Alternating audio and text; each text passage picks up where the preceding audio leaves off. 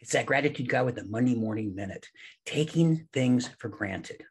On this Monday, I want you to take a moment and think about some of the things you might take for granted that you really should remind yourself that you are so grateful to have in your life.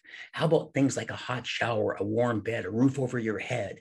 And then things that are even more important your children, your spouse, your relatives, your siblings, whatever it might be, your freedom, your free will. All these things are things that occasionally slip under the radar and we don't think about them a lot. So on this Monday, take this moment to think about the things that you're grateful for and say thank you and say it out loud. Thank you for my health. Thank you for my children. Thank you for my baby, whatever it might be.